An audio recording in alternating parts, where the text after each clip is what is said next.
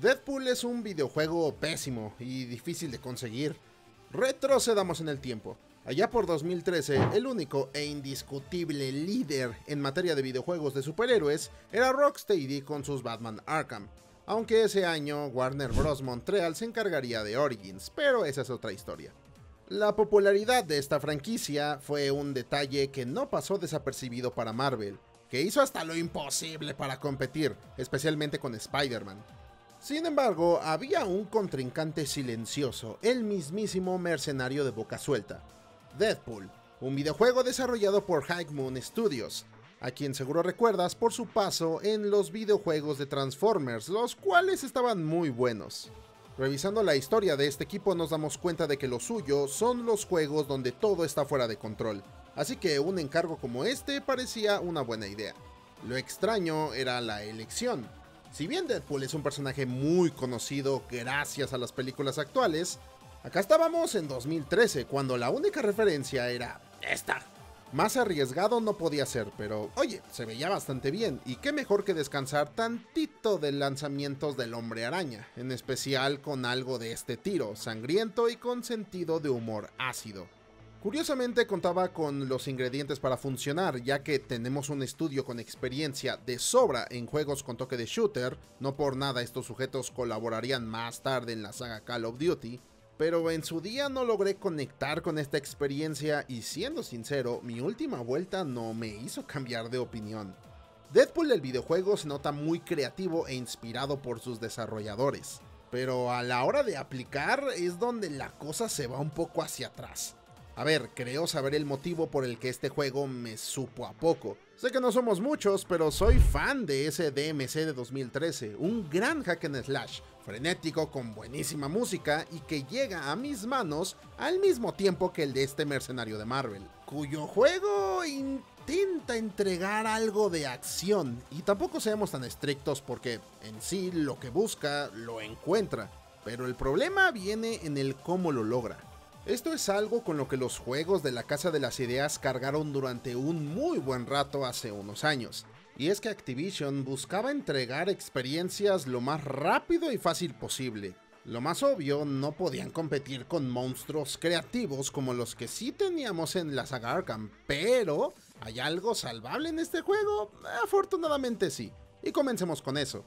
La personalidad de este Deadpool interpretado por Nolan North es magnética. La historia trata de prácticamente Deadpool viviendo su propio videojuego, no hay más. Las rupturas de la cuarta pared permiten que el protagonista interactúe con el director del proyecto, pidiéndole cambiar secciones que le parecen aburridas y, por qué no, incluir referencias a los celdas clásicos.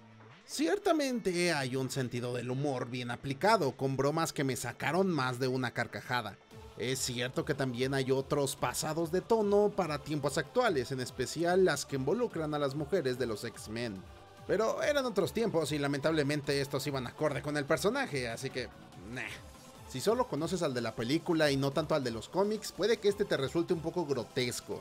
De lo contrario, disfrutarás mucho su personalidad tan espontánea juega con los clichés no solo de este tipo de adaptaciones, de las historias de superhéroes, y las maneja de un modo que te toman por sorpresa en más de un momento con cualquier tontería.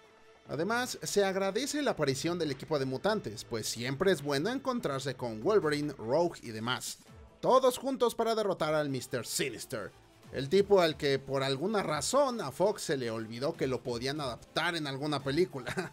Mala idea, ¿verdad? Es mejor meter a Magneto otra vez. Si no eres fanático de este estilo de comedia juguetón y a veces sin sentido, puede que te desespere un poco el juego. Obviamente es parte del personaje, pero difícilmente se queda callado. Incluso buscará momentos para burlarse de ti, así que tenlo en mente si por alguna razón logras encontrar el juego. Porque esa es otra. Es un videojuego desaparecido. Resulta que cuando Activision perdió los derechos de distribución de Marvel, muchos de sus juegos fueron blipeados de la faz de la Tierra haciendo que Deadpool no gozara de mucho tiempo en tiendas digitales antes de ser eliminado. Luego, en 2016, intentaron traerlo de vuelta con una especie de remasterización para consolas de octava generación, pero la verdad es que no existía una mejora que siquiera destacara ni siquiera en lo visual. De hecho, si hay alguien en los comentarios que tuvo las versiones de PlayStation 4 y Xbox One, confirmen que estas versiones corrían de la patada para no quedarme con la duda. Ah, sí, y tiempo después, ¿qué creen? La sacaron de las tiendas y no sirvió de nada haberlas lanzado. Fue, fue realmente molesto. Pero bueno, platiquemos del juego en sí. Este es una especie de hack and slash con toques de shooter en tercera persona. Todo muy simplificado para mi gusto. El combate está bien, es funcional y podemos enfrentarnos a hordas de enemigos, pero estos tendrán en su mayoría armas de fuego, lo que, siento yo, rompe un poco el gameplay o lo hace más difícil de lo que debería en algunos casos, ya que no sabes en quién estar al pendiente, te llueven golpes por todos lados, y la mecánica de combate no es precisamente la más cómoda y divertida. Le falta variedad al cuerpo a cuerpo, así como velocidad, Incluso diría que estoy contaminado en este tema por culpa de haber jugado Ninja Gaiden 2 durante tantos años. Y esto desgraciadamente hace que cualquier juego donde me pongas una espada encima no lo pueda juzgar igual.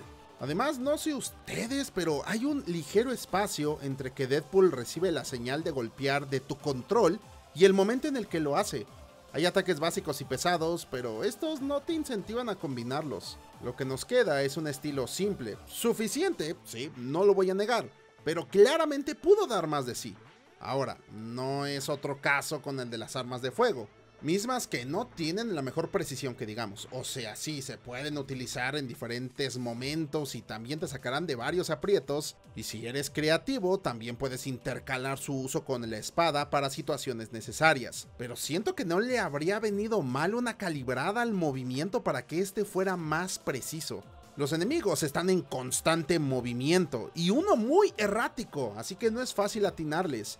Y yo digo, se supone que somos Deadpool, así que debería ser relativamente fácil atinar los tiros en la cabeza de estos sujetos. También hay momentos donde puede ser sigiloso, o sea, el escenario no está construido para eso, pero por algún motivo puedes hacer que la primera eliminación sea cómica de alguna forma. Eh, no sé, siento que si esto se hubiese desarrollado mejor, habría dado para más, pero se quedó en eso. No hay un sistema de persecución para poder esconderte dentro de botes de basura, eso también habría sido chistoso. Al final, el truco es avanza, destruye todo lo que te encuentres y ya está. Desbloqueas algunas habilidades especiales que te pueden servir en algunos momentos donde estás rodeado y obviamente la mezcla entre tasajear con la espada y de pronto sacar la escopeta puede ser satisfactorio, pero nada muy complejo. Ahora, lo que te dice el juego es siéntate y soporta esto durante varias horas porque no puedes hacer otra cosa al respecto. Los niveles tampoco son nada del otro mundo, hay secciones con variaciones simples como el clásico ve a buscar esta llave porque la puerta está cerrada, pero en realidad nos encontramos con constantes pasillos, llenos de guardias, enemigos, una y otra y otra y otra vez hasta llegar a alguno de los jefes, que normalmente son esponjas de daño y ya está. Nada realmente desafiante o que requiera algún tipo de coordinación de tu parte. Al final eres recompensado con los magumbos de alguno de los personajes femeninos, como si eso fuera suficiente para calificar el juego, además de que seguramente te vas a encontrar con algunas de las monedas que te permiten desbloquear armas como mazos o sais, lo mismo con las de fuego para metralletas, escopetas y demás. Cada una con sus respectivos efectos y pueden serte útiles en distintas situaciones. Otro problema un poco más grave de lo que me gustaría admitir es que la variedad de enemigos rápidamente se acaba. Durante las primeras horas verás como poco a poco aparecen cada vez más poderosos y llegado a cierto punto se acabó la creatividad y se pusieron a reciclar Curioso que implementaran chistes y referencias a otros videojuegos en cinemáticas o diálogos, pero no se les ocurriera hacer lo mismo en el gameplay o en los menús. Pausa es pausa y ya está. En el apartado técnico no hay mucho que decir. Se ve bien para la época, en especial por su uso del confiable Unreal Engine 3, mismo al que Haimon ya estaba acostumbrado por su trabajo en los juegos de Transformers. Es un título clasificación para adultos con todas las de la ley, así que también puedes divertirte con la violencia de algún modo. El videojuego de Deadpool no diría que es peor de lo que recordaba porque incluso en ese tiempo lo consideraba regular. No es malo o terrible, siento que le tira a lo mediocre, y eso porque tiene mucha personalidad y la comedia le viene como anillo al dedo. De hecho, sin temor a equivocarme, es lo que sostiene toda la experiencia. Sin embargo, si nunca lo jugaste, me cuesta mucho recomendártelo.